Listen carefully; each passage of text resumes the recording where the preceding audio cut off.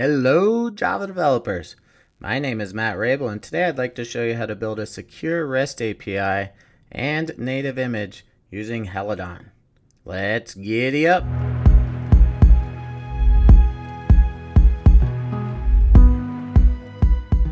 I created a demo script for this. You can find it in Oktadev native Java examples and the demo-helidon .adoc file. And like I said, we're going to create a Java REST API, secure it with OAuth 2, and then we'll pass a JWT to it to authenticate our user. And then I'll do some comparisons with other frameworks that allow you to build Java REST APIs like Micronaut, Quarkus, and Spring Boot. And so for the demo script, for the repo, for a related blog post, check out the description on this video. I put links all over in there and you'll be able to find all this information. The first thing you'll need is SDKman. I already have it installed.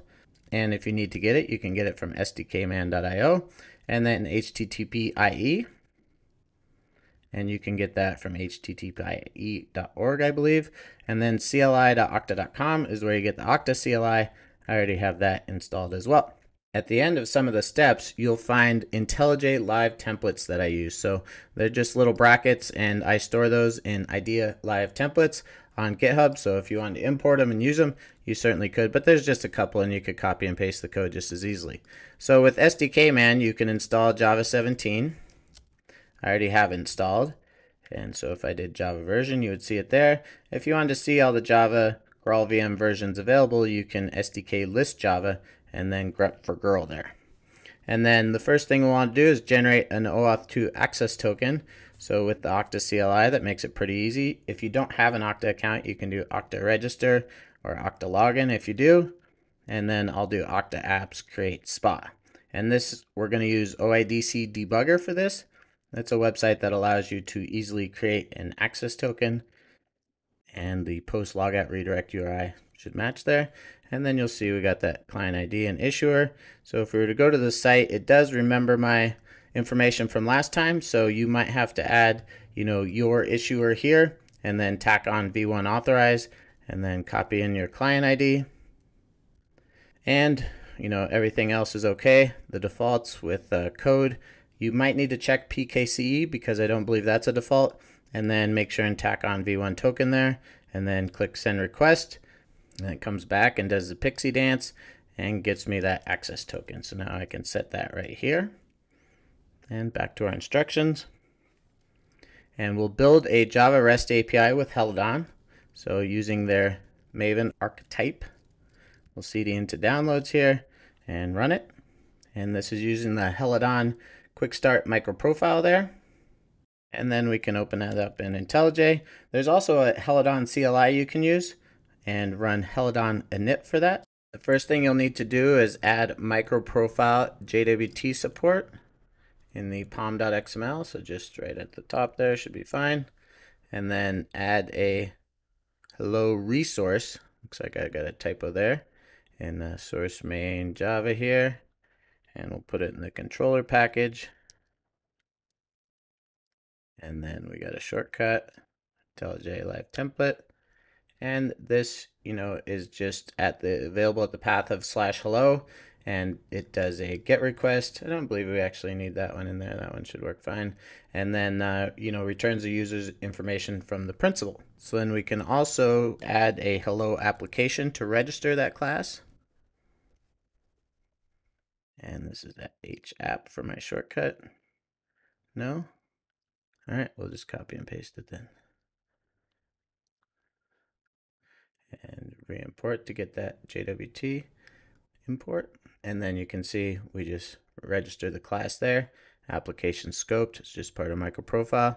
And then we'll add our Okta endpoints into source main resources metainf microprofile config dot properties. So this is our Okta domain, which we have back here. Replace that. There is no command to just start up a Helidon app. If you use Helidon CLI, there is, but I've just been doing NVM package and java-jar with the uh, generated, you know, jar there.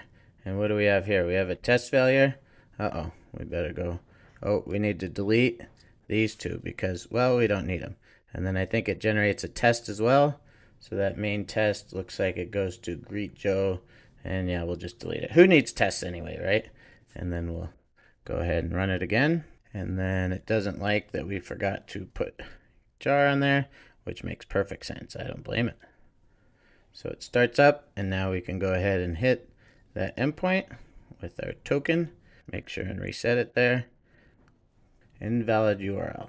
Um, let's see. Maybe I just did the command wrong. Yep, looks like it. I did it in the wrong order. So I got some cleanup to do on my instructions. If you go to the demo script after this, I make I'll make sure it's all up to date. But you can see, you know, it's logging me in. It's got my information there, and it's all working. So let's go ahead and build a native Helidon app. So I want to make sure it's not running in the background. And then make sure you're in the project. So you can see that took just over a minute to run there, a minute 20 seconds according to my calculations. And now we can go ahead and start it up with uh, target Helidon. You'll see it's kind of buried in here, but uh, gives the uh, time it started there, 54 milliseconds. So let's try it again. 31 milliseconds and 31. So that seems to be pretty consistent there. That's all working nicely. If we did a startup time comparison here with uh, the other frameworks, what I did was I cloned them all or I created apps just like I showed you how to do here and then I started them all three times and then I started them five times and took the average of that. So you can see you know milliseconds to start here for Helidon is 42 um, this is on an M1 so it's much faster here with 30 milliseconds. This was on Intel that I originally recorded these numbers. So with uh, Micronaut it's 27 milliseconds. With Quarkus wicked fast 19 milliseconds and then Spring Boot a little bit slower than Helidon there. And then the memory usage, this is the command I use to figure out memory usage with Helidon. Uh, it starts up before any request, 42 megs used, which is awesome for a Java application, right? And after five requests, it has 62. And then you can see the comparison with the others there. And then what about the MacBook Pro M1, which I'm using to record this? You know, the milliseconds to start is 23, so faster than when I'm recording this with Camtasia. And you know, the megabytes go up a bit after the request. Not sure why that is, but my basic synopsis is it builds twice as fast, which is very nice for a developer experience. It starts twice as fast, which is again very nice, but it does use a bit more memory. And so what we did with the Okta CLI is we made it easy to create a Helidon app that integrates with Okta. So if I were to, you know, exit out of here and cancel this one and go up a level and create a new directory, clear this so you can see it easier. Okta start Helidon. It'll actually go out to a GitHub repo that we maintain and create a new OIDC application for you and tell you, you know, everything's been written to this file. So, you know, use gitignore to check that in or to ignore that file with if it has client secrets in it, which it doesn't right now, or use environment variables. And you can find this example's code in that native Java examples repo and the Helidon directory, and of course, the blog post build REST APIs and native Java apps with Helidon. So I hope you've enjoyed this screencast. If you want to find me, I'm on Twitter at mraible. You can find my team at Oktadev and subscribe to our YouTube channel so you can get notifications when we publish more cool content like this. Thanks for watching. Have a great day.